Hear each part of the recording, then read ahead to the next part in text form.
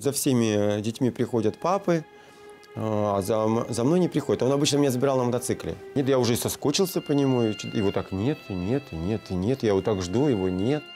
И я понял, что он не приедет. Это для меня было так страшно, когда я это осознал, что так все же он не приедет. Вот это вот детство, связанное, что я с, папой, с папой все время с папой, э, оно кардинально вообще другое. Почему? Потому что полноценное детство –